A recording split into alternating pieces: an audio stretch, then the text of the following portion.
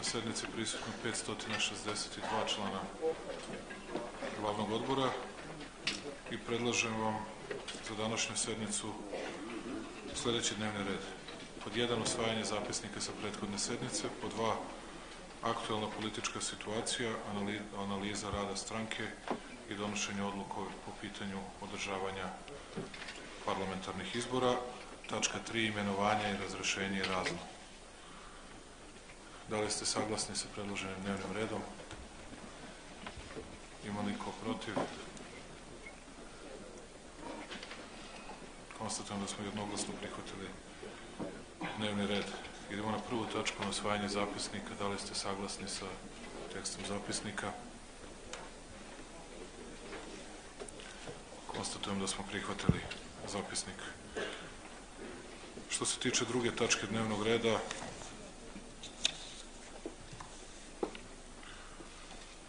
moja obaveza da izložim tu vrstu analize i molim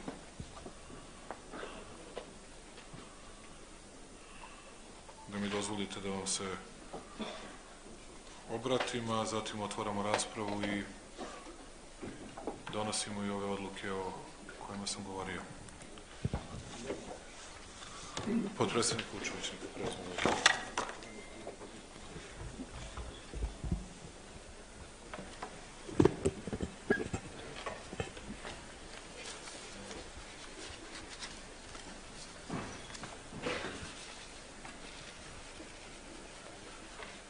Poštovani članovi stranke, dragi prijatelji, devet godina je prošlo od kada smo formirali Srpsku naprednu stranku. Devet godina teškog i napornog rada, velikih uzleta, bilo i padova, onako kako izgledaju životi pristojnih ljudi, tako izgledao i život i rad Srpske napredne stranke. U tih devet godina imamo mnogo toga čime možemo da se ponosimo. Ima i stvari kojima to ne možemo da uradimo. Neki ljudi su odustajali, neki su bili ljuti, neki novi ljudi su dolazili. I tako u stranci kao i u životu mora i da bude. Stranka ne sme da bude zatvorena i ne smeju da budu uvek ista lica, već moraju da budu, mora da bude sve više novih ljudi, jer ja znam koliko se energije gubi u svakodnevnim teškim obavezama i znam da nije jednostavno držati ritam koji je potreban da bi se građanima omogućio bolji život. Stranka takođe ima i taj problem da ima odgovor, ogromnu odgovornost i vlast i jedan deo naših ljudi u skladu sa tim je zaboravio na naše stranačke prijatelje, na članove naše stranke. Koliko ima i vas članova glavnih odbora da vas nisu pozvali iz vaših opštinskih ili gradskih odbora, a da vas nikada nisu konsultovali ni za jednu važnu stvar, a da vas nisu pozvali da vam čestitaju slavu. Mnogo, nažalost. I to govori o našoj neaktivnosti i o tome da je bilo važnije da razmišljamo o tome kako da svoje funkcije sačuvamo ili kako da svoj rad unutar organa vlasti unapredimo u najboljem smislu te reči, ali smo stranku zapostavljali, kad kažem stranku, ne mislim nešto imaginarno, već mislim na ljude, na dobre ljude, na dobre domaćine, na one koji su rezultat napravili, na one koji su i vas i mene doveli dotle da danas možemo da radimo nešto u organima državne uprave. Ipak, u poslednjih pet godina napravili smo velike pomake kojima možete da se ponosite. I ono u čemu smo uspeli, to jesu rezultati. Rezultati u različitim sferama društvenog života. Pre samo tri godine, 2014. godine, naša zemlja, naša Srbija bila je na ivici bankrotstva. Kada sam preuzeo vođenje vlade, visina javnog duga je bila 76,5% bruto domaćeg proizvoda. Na današnji dan posle teških reformi koje smo proveli, visina javnog duga je 64,3%, kupili smo sada kao država 770 miliona dolara, platit ćemo pre kraja godine od naših dinara, od našeg viška novca i smanjiti taj javni dug na nekih 62,5%. Približit ćemo se nivou Maastrichta i postati sigurna zemlja, ne samo za ulaganje, već pre svega sigurna zemlja za budućnost naše dece. Ne zaboravite da 2012. je bila krajem 2012. posle njihovih užasnih budžeta, posle svega 56,3% visina javnog duga. Onda vam to govori kakav smo rezultat po tom pitanju postigli. Spustili smo nezaposlenost sa 25,9% na 11,8%. I dalje imamo veliki broj i nezaposlenih i siromašnih ljudi. Ali ono u čemu jeste snaga naše stranke, to je da oni koji su najsiromašniji, oni nas najsnažnije podržavaju. Oni koji dobro razumeju probleme sa kojima se Srbija suočava i koji ne pokazuju sebičluk i lični egoizam na svakom mestu i na svakom koraku, oni nas najsnažnije podržavaju. Najmanje podrške imamo kod onih koji, ako hoćete, sebe predstavljaju elitom, najuspešnijima i uspešni su u novcu koji su obično opljačkali od građana Srbije. Ne znaju baš razliku između Nadežde Petrovića i Uroša Predića, niti između Slobodana i Paja Jovanovića, ali to im nije naročito ni važno, niti je bitno za to da se u javnosti predstavljaju kao istaknuti elitisti. Godinama su nam govorili kako smo politička partija koja ima neobrazovane ljude. Onda nam je u jednom danu palo na pamet, ajde da vidimo ko je koje škole završio. I onda im više nikada nije palo na pamet ni da pokažu indekse, niti đačke knjižice, niti bilo šta drugo. Završavali su izmišljene ili nepostojeće fakultete ili su bili najgori đaci, najgori studenti. I ništa to nije vredalo. Jedna priča, kao i sve druge, samo je otišla niz vetar. Uspeli smo da obezbedimo da danas, sem ljudi u vladi, predsedništvu, u organima državne uprave, svi ljudi drugi u javnom sektoru imaju značajno veća primanja nego što su imali. To će ljudi osetiti tek od februara meseca kada se budu isplaćivale prve plate za januar. Sledeće godine ćemo imati, uveren sam, zbog niskog deficita ili opet suficita u budžetu i značajno većeg rasta priliku da ponovo uvećavamo plate i penzije, da ljudi žive još bolje, ali da se ne uvećava javni dug, da se ne uvećava javni dug, da naše javne financije budu pod kontrolom i da uvek znamo šta je to u šta ulažemo. Mi smo uveli nešto što je dobro, da sebe kritikujemo kada imamo problema u različitim oblastima. I kada imamo problema u vladavini prava, i kada imamo problema na našim putevima, ali rezultat je takav da smo izgradili više puteva i pruge nego što je izgrađeno u prethodnih 30 godina, da ne kažem i 40 godina. U sve naše, u svu našu samokritičnost, u sve ono što govorimo svakoga dana. Uspeli smo da obezbedimo da Srbija postane, da za 50 mesta skoči na Doing Business listi Svetske banke. Da danas imamo najbolju poziciju kao zemlja za investiranje, zemlja za privlačenje stranog kapitala. Uspeli smo, ali to nije dovoljno. Nije dovoljno i još nije dobro. Moramo da budemo ubedljivo bolji od toga i moramo da pokušamo da uđemo u prvih 20 zemalja. Imaćemo investicije ove godine za bar 200, možda i 250 miliona evra više nego ostala zapadno-balkanska petorka, mi kažemo četiri države i jedna teritorija, neki drugi govore o pet država sa zapada, dakle reč je o Makedoniji, Crnoj Gori, Albaniji, Bosni i Hercegovini i teritoriji Kosova, dakle imaćemo više investicija nego te četiri zemlje i jedna teritorija. Imaćemo sledeće godine mnogo, mnogo više, i to sam rekao, investicija, ne računajući privatizacione prihode. Neki su se hvalili u 2003. 4. i 5. velikim investicijama, kada su u stvari pljačkali državu, kada smo imali ogromne privatizacione prihode. Mi de facto nemamo privatizacionih prihoda ove godine. Imaćemo i sledeće godine i aerodrom koji je 2012. 2013. vredeo za koncesiju 50 miliona dolara, danas vredi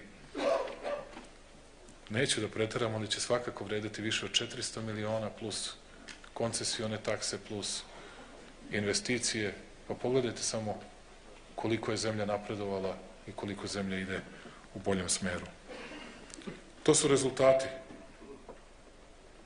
Zadovoljan sam borbom protiv organizovanog kriminala, iako uvek može bolje. Ono gde moramo da uradimo više i gde ponovo moramo oštrom sabljom nisam u političkom smislu mislio da to neko poredi sa nekim ranijim periodima ili ako hoćete dobrom metlom da počistimo one koji su korupcijom mislili da stiču bogatstvo, a zaboravili na interese građana. I mnogi će pre kraja godine već biti iznenađeni žestinom akcije države Srbije baš u toj oblasti. Ono na što sam posebno ponosan jeste borba naše zemlje u užasno teškim okolnostima, užasno teškim okolnostima koje negde možete da osjećate i dobro je da ne znate, jer nije naš posao da kukamo ni pred narodom i građanima, niti pred vama. Dakle, užasno teškim okolnostima očuvanja nezavisnosti, suvereniteta i slobode za građane Srbije. I borili smo se i uspevali smo da to uradimo. Niko nas nigde ne voli, ni od koga i ne tražimo da nas voli. Mi smo danas kod svih tih i od svih tih koji na različite načine vrše pritiske na našu zemlju. Poštovani. Poštovani zato što smo svoji na svome. Poštovani zato što smo u stanju da jednima kažemo da nećemo da uvodimo ni sankcije Ruskoj federaciji i da ćemo da ih čuvamo kao prijatelje, jer to nije samo naša obaveza, to je naša želja. Tako se ponašaju iskreni prijatelji. I zato što smo drugima u stanju da kažemo da nalazimo se na evropskom putu, možda vam se to ne sviđa, ali to je put Srbije. I svima koji nas kritikuju i govore da je to nemoguće, u redu ako je nemoguće. Pobedite na izborima, povodite politiku, samo recite narodu koju politiku. Jer ja do sada i od svih tih analitičara i od svih političara, a i jedni i drugi su i jedno i drugo, nisam čuo ništa ni o čemu. Nisam čuo ni jednu ideju, ni o čemu. Evo vas pitam, dragi građani, na kraju mi donosimo odluke. Svaku tešku odluku smo mi morali da donesemo.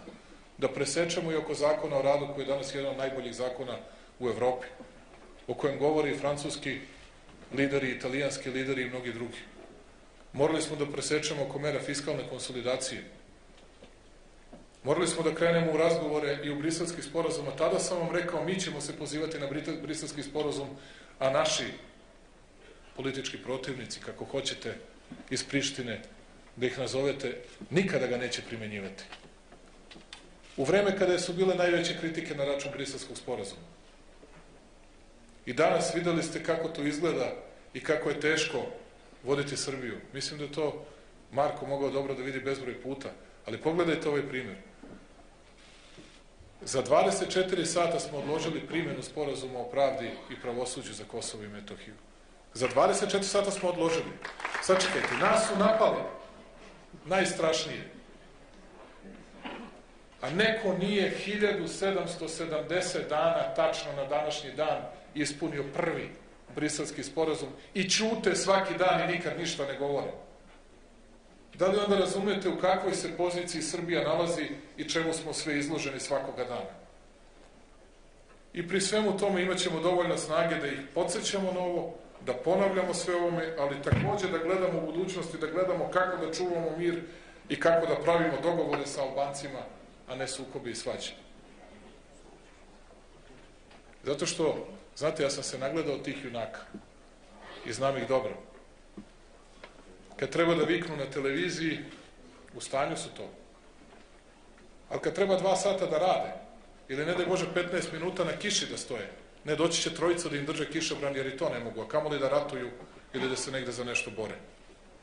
Naše je da probamo da sačuvamo sve što je naše i da probamo da izgubimo najmanje što moramo i da dobijemo najviše što možemo, ali da sačuvamo mir i da sačuvamo budućnost za našu decu.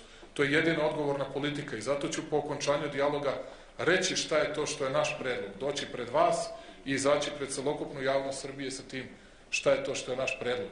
Ne čekajući da neko drugi nešto predloži da bismo to kritikovali. Evo, traje dijalog. Čuli smo bezbroj važnih reči od važnih, vrednih, pametnih ljudi. Mnogo toga je moglo na ova tri skupa da se nauči. A moje pitanje za vas je, a šta ste čuli od naših političkih protivnika? A koja je to ideja? A šta su rekli po pitanju Kosova i Metohije? A šta su rekli po pitanju odnosa sa Rusijom? A šta su rekli po pitanju briselskog sporazuma? Šta su rekli po bilo kojem važnom pitanju? Nisu ništa. Zgrčeni su u centru Beča. To je njihov odgovor na sva pitanja. I mrzimo sve živo, mrzimo sve oko sebe. Super što mrzite. A šta je poruka građanima Srbije? Glasajte za nas, bit će vam mnogo bolje kad mi nastavimo da otimamo kako smo počeli tamo iza 2000.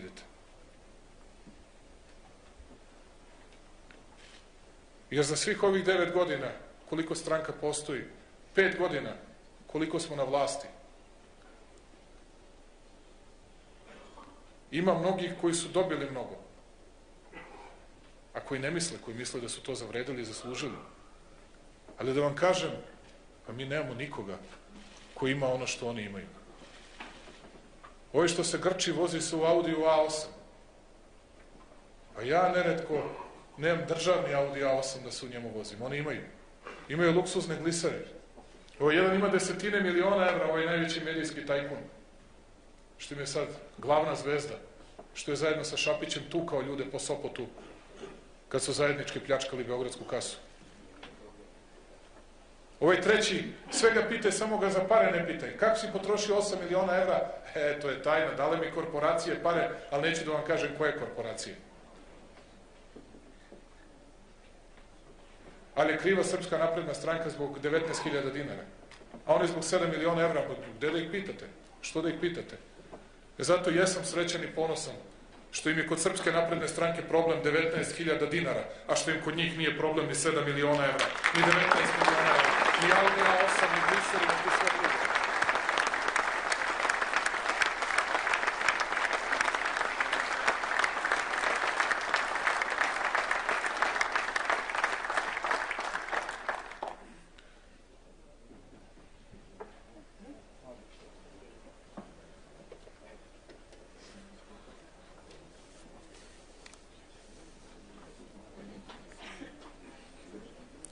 U regionu smo se trudili i pokušavali na svaki način da smirujemo tenzije. Neretko nismo odgovarali nikome na provokacije, na teške reči. Svi su koristili Srbiju za svoje unutrašnje političke potrebe. Od sinoć, kada su krenule svetkovine oko Vukovara, bezbrojnih uvreda na račun Srbije i Srba, do onoga što smo slušali pre nekoliko dana iz Bosne i Hercegovine, gde nas još ubeđuju kako je ono što smo čuli u stvari nismo čuli. Kako je trebalo da čujemo nešto drugo. A ono što smo čuli je mnogo gore od ovoga što su oni demantovali. Samo što to valjda niko ne sme da kaže. Zato što će odmah da ljudi iz nekoliko ambasada skoče i da kažu, e ti nisi budućnost Srbije. Valjda oni određuju ko je budućnost Srbije. Ponosan sam na to što ova stranka nije dozvolila da ambasadori i predstavnici stranih zemalja određuju ko je budućnost Srbije. Da Srbije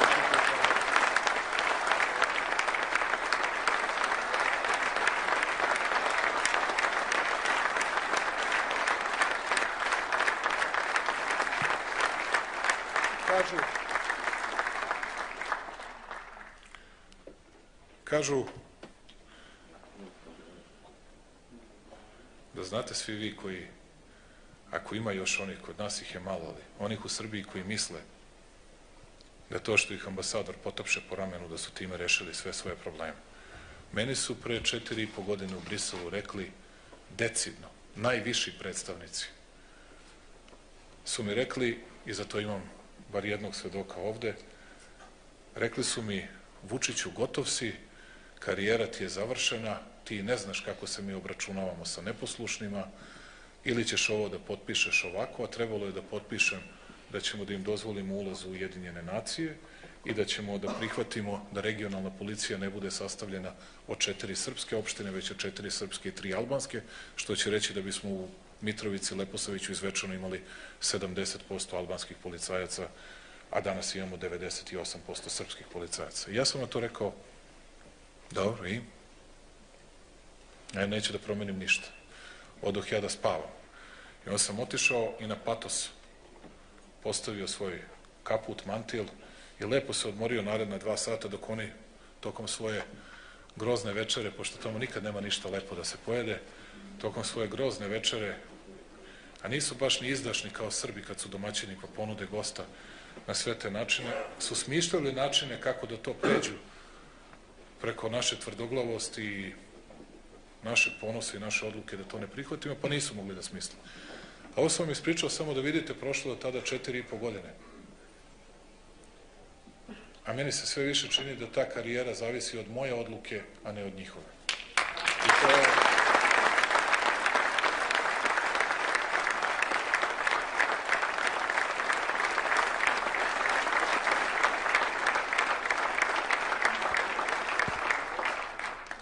da ne smetnete suma, svi oni imaju svoje interese, mi imamo svoje. Nalazimo se na evropskom putu i moramo da radimo i teške stvari, ali važne stvari za našu zemlju.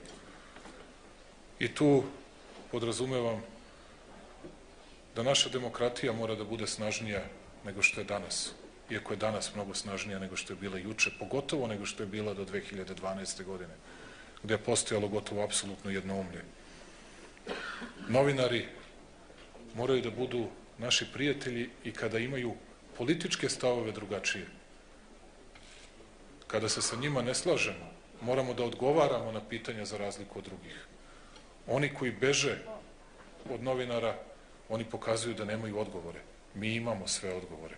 Možemo da se podičimo našim rezultatima.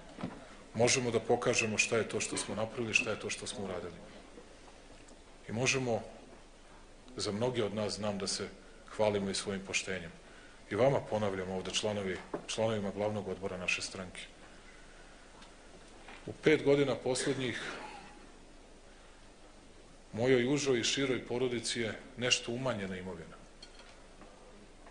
Jer je majka prodajući kuće tamo iz Bečeja kupila ovde ranije neki stan čuvajući za unuke, pa jedan od tih prodala, pošto im je sin kriv za smanjenje velikih penzija.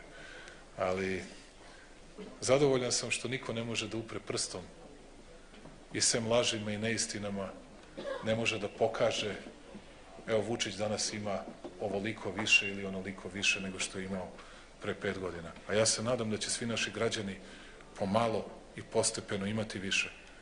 Ali neću da će i oni koji su bili bogati, a pošteno su se obogatili, moći da imaju još više. I to je normalna zemlja. I to je civilizovana zemlja.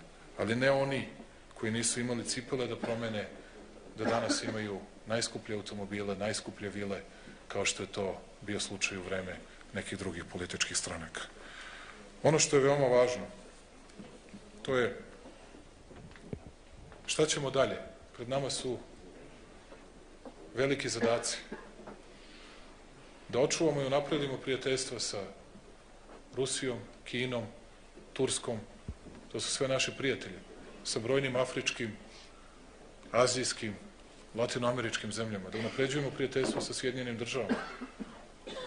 Naš je cilj, naravno, da ubrzamo svoje, svoj put ka Evropi, zato što želimo da pripadamo tom tipu društva, a za one koji se ekonomijom bave 68% naše ukupne trgovinske razmene sa zemljama Evropske unije. Kada dodate tome region još 19-20%, onda vam je jasno sa kim najviše radimo i sarađujemo. Naravno, za razliku od drugih koji nas kritikuju za blisko sa Rusijom, a mi na sve to kažemo da, mi smo prijatelji, bili smo i danas smo i ostaćemo prijatelji sa Rusijom i nećemo da rušimo to prijateljstvo, to smemo da kažemo i u lice našim prijateljima sa Zapada, kao što i kad odemo u Moskvu, za razliku od ostalih lidera iz celog sveta, kad vide Putina sakriju se u mišju rupu i ne smiju obično ništa da kažu, ja i predsedniku Vladimiru Vladimiroviću govorim i o evropskom putu Srbije i nisam primetio da mu je to smetalo, ali se nisam plašio da iskreno govorim šta je politika Srbije, šta je srpska politika. Ni u Vašingtonu, ni u Moskvi, ni u Briselu. I uvek je to bila ista politika.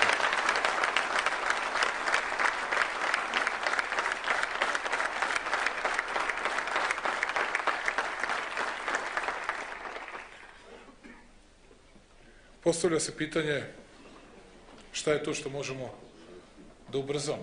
Možemo da radimo više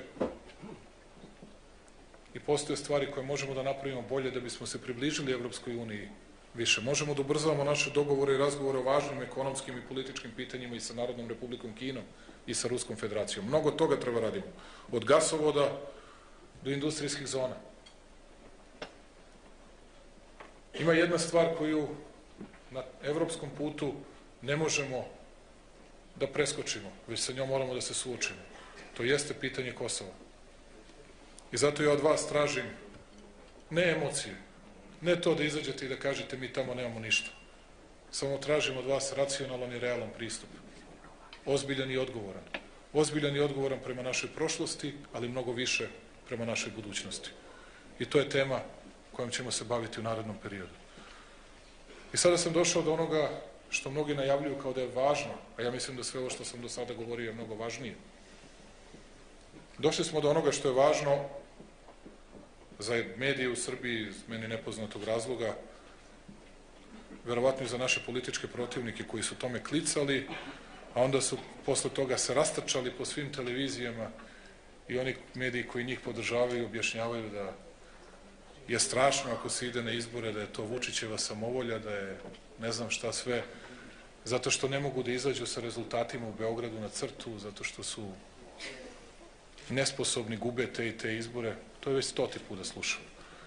Slušao sam i iz naših redova ranije kako su govorili da Milošević je raspisivao vanredne izbore, Koštunica je raspisivao vanredne izbore, izgubili su ih, tako ćeš i ti Vučiću. Evo, do sad nismo. Ne znam kako će da bude u budućnosti. Postavila se dilema i mi smo danas na predsjedništvu imali razgovor i raspravu bez dogovora. Rekli smo da danas nastavimo ovde da razgovaramo. Ja ću vam reći šta je moj stav i onda ćemo doneti odluku. Ne zato što smo se preglasavali, već zato što su postojale različite ideje. Ideje da idemo na izbore su u nekom smislu podstaknute i stranačkim razlozima i jednim delom, manjim čini mi se, državnim razlozima. Ideja je sledeća, ako bismo imali u martu republičke parlamentarne izbore i važne gradske beogradske izbore, onda bismo u 2022. imali sve izbore zajedno, dakle četiri godine mira za rad, za sve što je neophodno da se uradi od teških stvari još, pošto mi za razliku od drugih nismo sedeli na lovorikama i na prodaji srebrnine i naših preduzeća kao što su oni radili i trpali pare u svoje džepove i su teške reforme provodili u delo. Dakle, i druga stvar je da ako već idemo na izbore, a kao što vidite, već smo ove gradske izbore nekako izgubili, svi kažu da smo izgubili, već su izračunali sve procente, imaju gotovo duplo više nego mi. Ne znam samo što se ne raduju onda malo više kad je to sve tako. Dakle, to već sve imaju, onda ideja, i Nebojša je to rekao, idemo istovremeno na republičke parlamentarne koje ćemo da dobijemo, jer većina građana Srbije želi takvu politiku, ali čak i da izgubimo gradske izbore, niko neće moći da dovodi u pitanje legitimnost, dakle legitimitet i legalitet republičkih organa vlasti. To su bili razlozi za kojima bi se pridodali i ozbiljni pritisci kojima je naša zemlja izložena, o čemu ne moram posebno da govorim. Kad bi govorio sve što, kroz šta prolazimo, mnogi od vas ne bi verovali da je to u politici moguće, ali moguće. To su dakle ti pritisci koji dolaze sa različitih strana o tome kako Srbija da se izjašnjava i ne može Srbija da sedi na dve stolice. I milion puta da im ponovite, to nisu dve stolice, to je jedna jedina stolica koju imamo. To je naša srpska stolica, a ne možete vi da imate srpsku stolicu, ili ćete da imate našu, ili ćete da imate njihovu. Ili njihovu, ili našu. I ne može drugačije. I stoti put im ponovite, ama baš hoćemo da imamo ovu našu, malu. E nama se ta naša mala stolica više sviđa nego vaša velika udobno i na redu neće.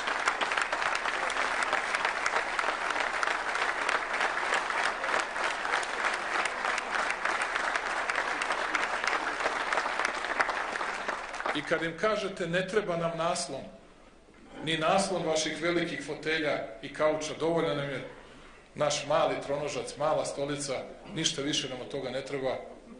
U jednom danu kažu poštujemo, a sutradan nema ništa od toga. Pa pogledajte današnje izjave iz pojedinih svetskih iz zemalja, svetskih sila. Ovi drugi se mnogo mešaju u Zapadni Balkan, mi moramo da se umešamo mnogo više. A manj ljudi nemoj se mešati više. Hajde, pustite nas. Samo nas pustite da vodimo svoju zemlju u skladu sa interesima našeg naroda i ništa više. A nikome od vas ništa loše ne želimo.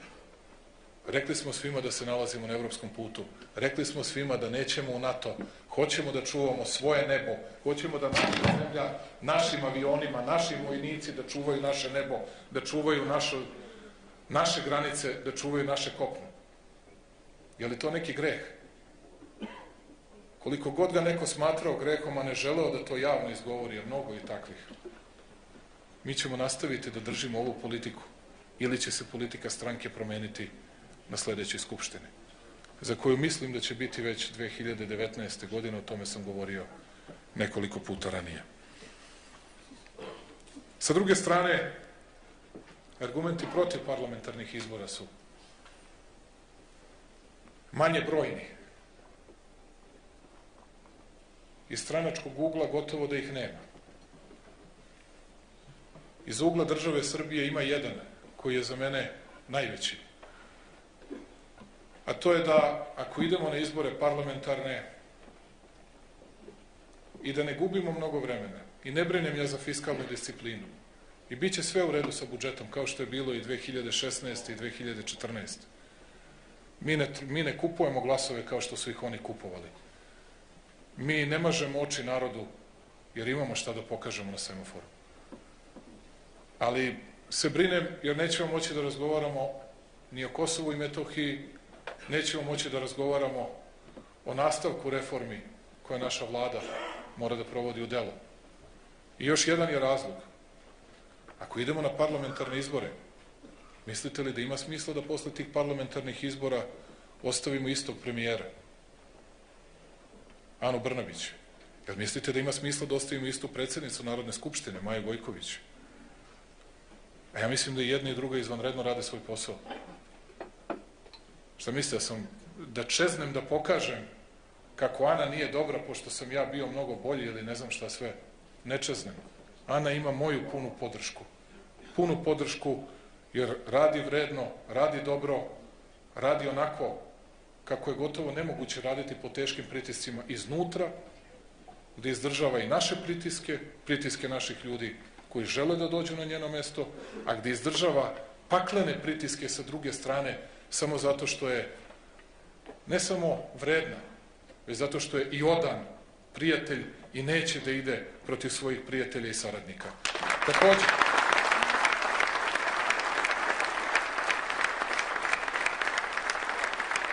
zato i Mana, zato i Mana, bez obzira na njenu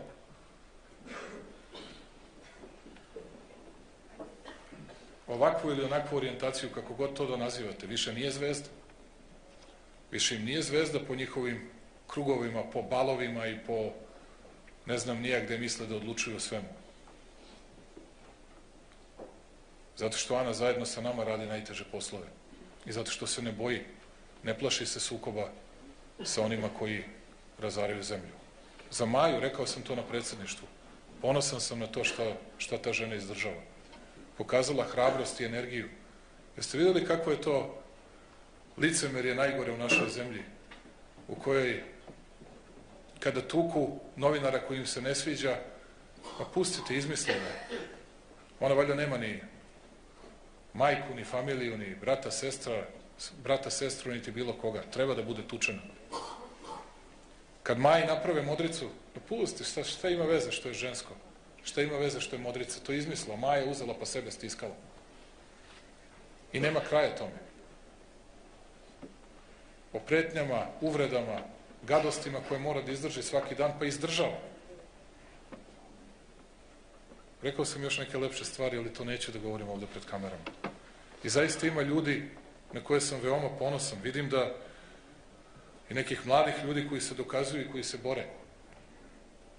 Mi koji smo već dugo funkcioneri, nekako smo to izgubili iz vida da je borba, politička borba naravno, ono što je najvažnije, a ne da se sakrijete u zavetrinu i da čekate povoljan vetar da vas nanese, nego se borite uvek i kad je vetar ovakav i kad je vetar onakav. I zato sam zahvalan i ono troje, četvoro, petoro mladih ljudi koji su u Narodnoj skupštini bore kao lavovi. Protiv svih njih koji ništa drugo ne znaju, nego samo vam kažu koliko vas mrze. Koji će da, juru, da jure da tuku žene po skupštini. I da još glume velike džentlmene i kavaljere. Moja ideja to nije. I imam još jednu stvar. Dakle, činilo mi se da je većina za izbore, odlučit ćemo danas. Ja sam za to da učinimo našim prijateljima koji kažu Vučić mora da ide na parlamentarne izbore da bi on trčao, jer samo tako mogu da dobiju izbore. U Beogradu su izgubili svakako, ne smiju da se pojave sa rezultatima u Beogradu. A moj predlog za vas je da mi idemo samo na, moj predlog je, iako razumem sve razloge drugih ljudi, pa ćemo se o tome izjašnjavati, da se naravno da predsedništvo mogućnost da eventualno donese i drugačiju odluku, ali da suštinski u ovom trenutku jasno saopštimo javnosti da imamo samo redovne gradske izbore, da ćemo na parlamentarne izbore ići kada im dođe red i da ćemo na tim redovnim gradskim izborima da se pohvalimo našim rezultatima i da govorimo o projektima za budućnost, pa i ako izgubimo, nije strašno da izgubimo. Ponovo ćemo, nije problem pasti, problem je kada ne ustanete posle pada. I hoću da se borimo, hoću da se borimo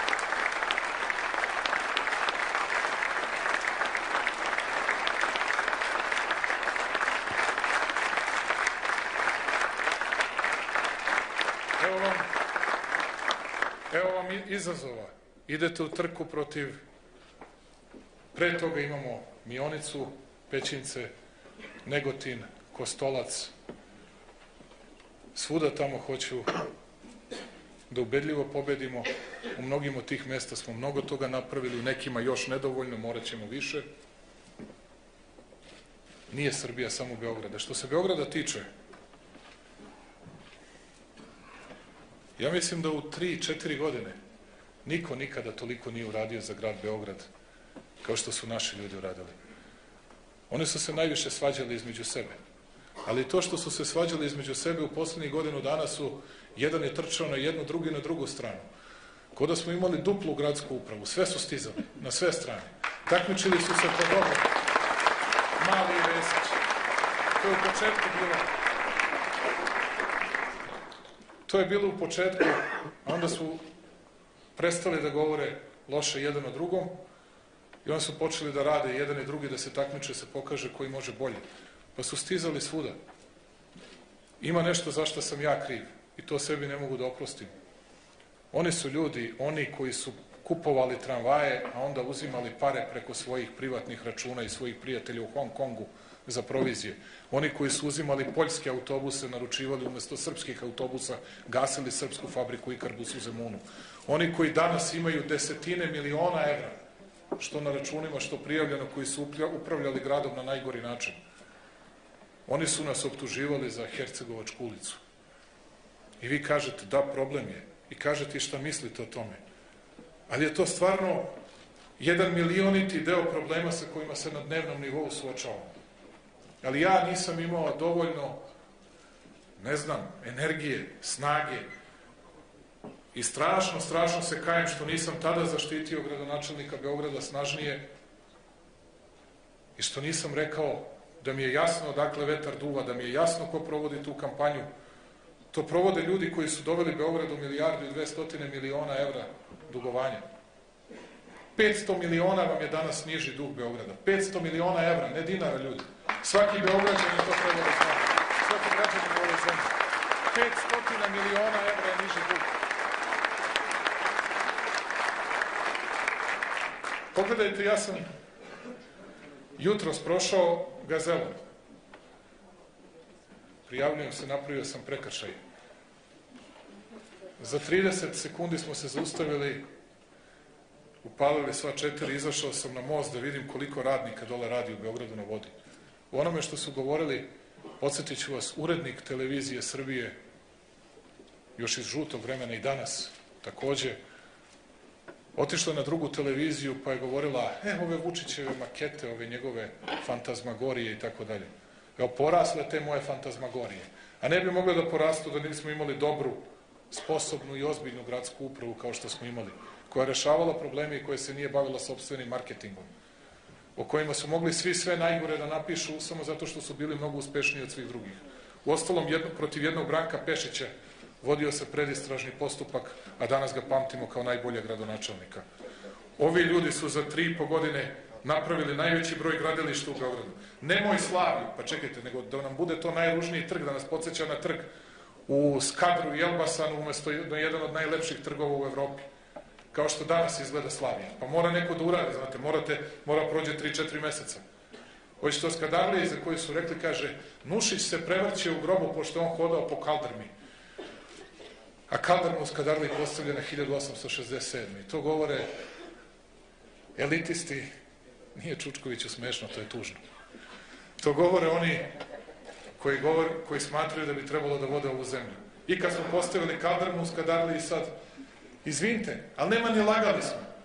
Dakle, moja ideja, ne krijemo se ni od koga. Pobedili su nas već danas, kažu da zajednički Janković, Đilas, Jeremić, Šapić imaju, a nema nikakve razlike između njih. Jedan pogledom, a drugi odmah batina Jedan pogleda na neki projekat, drugi odmah trpa pare u džep. Tako su radili zajedno i u gradskoj skupštini i u demokratskoj stranci. Dakle,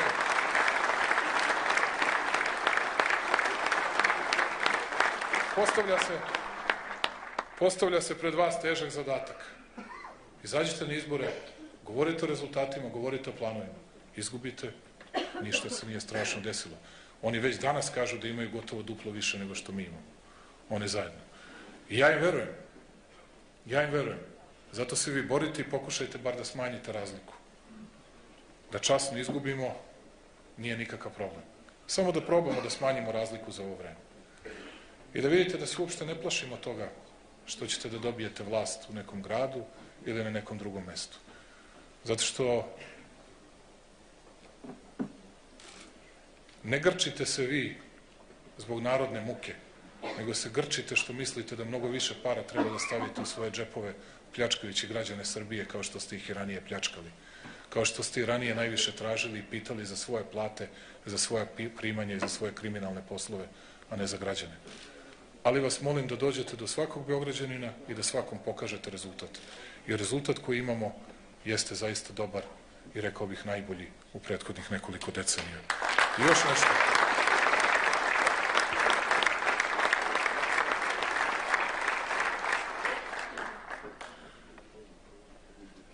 I još nešto, što mislim da je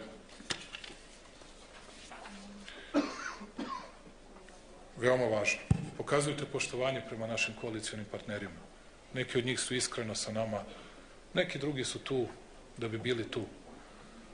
Ovi koji su iskreno sa nama, nije nama potrebna ni sva vlast, delite tu vrstu odgovornosti, poštujte ih i pokažite tu vrstu respekta prema njima. Mi nismo u istim političkim strankama, ne razmišljamo isto o svemu. Ali sam zahvalan onima koji se zajedno sa nama bore koji se zaista bore protiv onih koji bi zemlju da uruše i koji bi po svaku cenu da je sklone. Sa mape uspešnih zemalja. Takođe, nemojte da vas podsjećam na brojne laži kojima smo bili izloženi, a svi smo ćutali u to vreme. Mali broj ljudi je negde smeo da izađe Neki od vas su me predlagali, pa primite neke. Koga da primim? Sećate se kad su protestovali zbog lažne izborne krađe? Tri meseca je neko protestovao, od njih 30 do njih 3000. U jednom danu kad su celu Srbiju doveli bilo je 9000, to je bio maksimum. Što mi možemo svakog dana da okupljamo. I to u nastavci.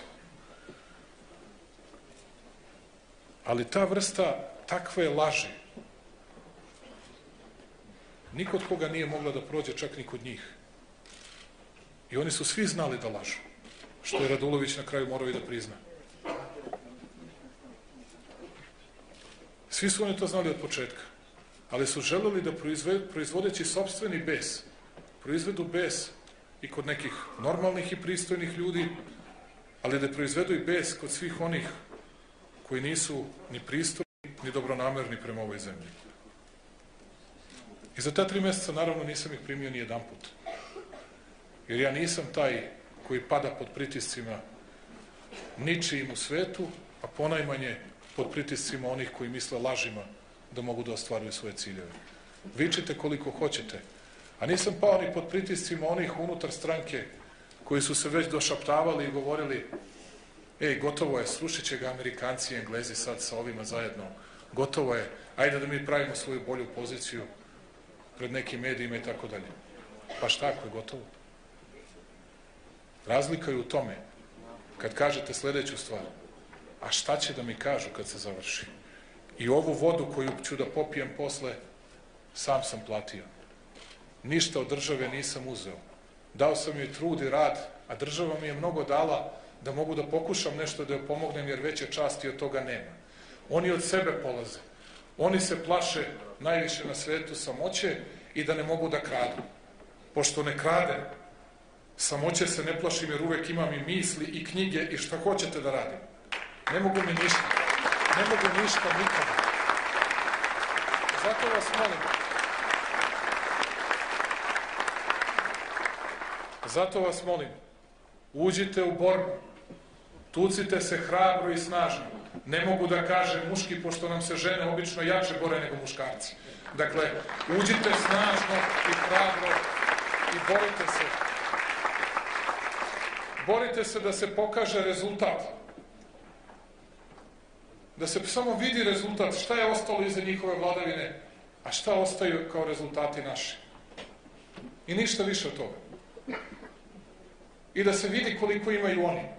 Tražili su indekse imovinske karte, ja sve poslao u Skupštinu. A oni ništa.